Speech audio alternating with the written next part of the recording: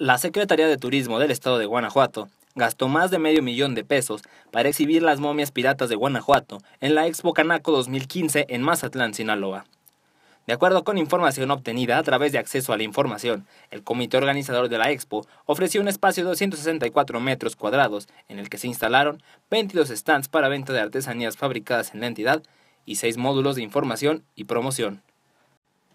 El montaje de esta zona, que abarcaba el 35% de la expo, se le fue asignado a la empresa Masivo SADCB, originaria de la ciudad de León, a quienes se les pagó un monto de 480 mil pesos.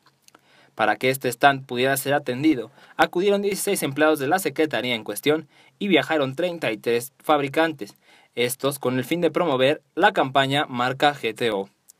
A los productores se les cubrió en su totalidad el hospedaje en el Hotel Mazatlán, así como el viaje de ida y vuelta, gastos por los que pagaron 100.800 pesos. Desglosado esto, se desembolsaron 52.800 pesos por el hotel y 48 mil pesos a la empresa irapuatense Servicios Express de Transportes SADCB, mientras que los 16 empleados, quienes se dividieron en tres grupos para trabajar durante las tres semanas que duró la expo, sufragaron 108 mil 40 pesos con 52 centavos por conceptos de hospedaje, comida y transporte. En total, presentar las momias tuvo un costo de 688 mil 840 pesos fue el pasado 20 de noviembre, cuando se dio a conocer que se enviaron tres momias a Mazatlán, entre ellas dos del Museo de Celaya, mientras que la tercera, que era falsa, provino del Museo Hacienda del Cochero, propiedad de la regidora Samantha Smith. Esto se debió a que el gobierno municipal de Guanajuato se negó a prestar los cuerpos originales del famoso museo, ubicado en esta misma ciudad.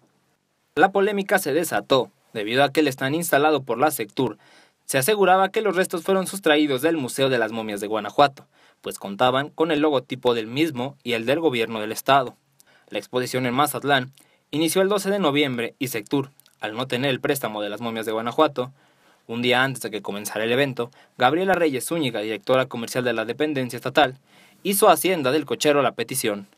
Del mismo modo, se hizo la solicitud en Celaya, donde Jessica Garza, directora de Turismo Municipal, se saltó a la Comisión de Desarrollo Económico y Turismo, aprobando el préstamo en Fast Track